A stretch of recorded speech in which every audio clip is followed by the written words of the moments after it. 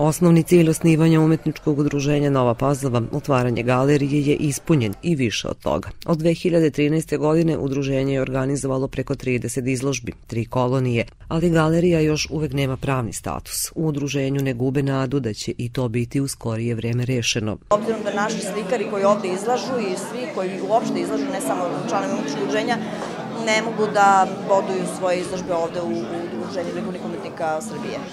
Umetničko udruženje Nova Pazova broji 43 aktivna člana i okuplja umetnike i iz drugih mesta.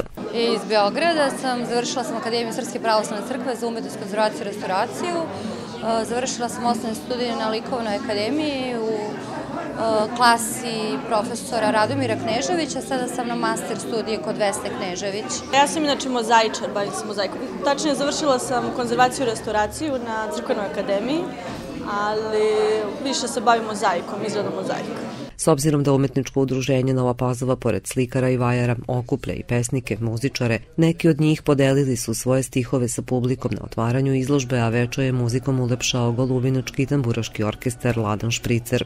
Nemoguće je baviti se jednom vrstom umetnosti i da, a, da afirmišete sve to, a da se ne poveže sa poezijom, sa muzikom, sa a, pisanom rečju i tako dalje. Tako da mi to, to u stvari nam jeste jedan od ciljeva da povezujemo sa drugima, da, da afirmišemo naše, da širimo taj krug i da a, afirmišemo čak i druge umetnike. Slike, crteži, vitraži, skulpture, mozaici, članova umetničkog udruženja Nova Pazova na petoj kolektivnoj izložbi, na kojoj se sa dva rada predstavljaju i najmlađi članovi likovne radionice Kulturno-umetničkog društva Mladost, bojiće galeriju u Kulturno-poslovnom centru u Novoj Pazovi do kraja januara 2018.